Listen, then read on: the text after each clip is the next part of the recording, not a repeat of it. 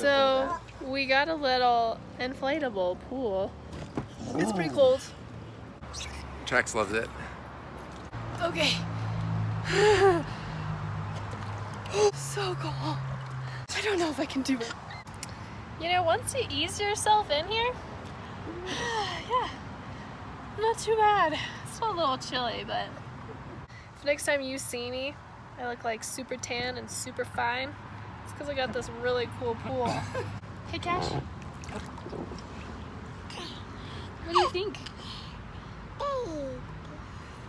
I just put sunscreen on Cash. He looks super cool. I was going for the the pasty white ghost look. Hey Cash, that's a really cool hairstyle, buddy. Looking real good.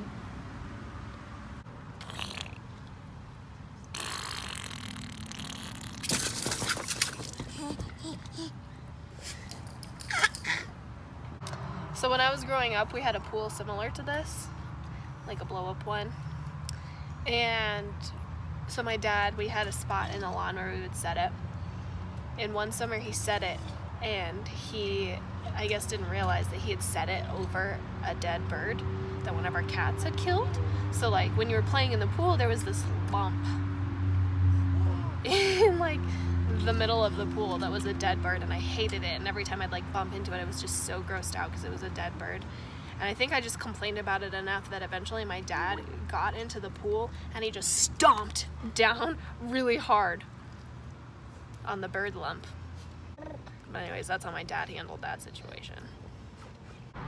So next we're buying scuba gear, right? yes. Maybe some cool pool floats for us And we're gonna go searching for sunken ships and treasure. yes The lost city of Atlantis in here. mm-hmm I think there's a lot to be discovered so It's kind of like with the uh, when people censor out like What's going on? You can't tell. That's so much movement. What are we doing? Nothing. Nope. Nope. That was so gentle. Go gentle Anglers.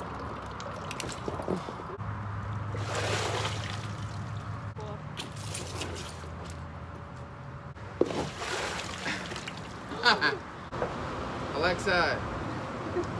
Alexa!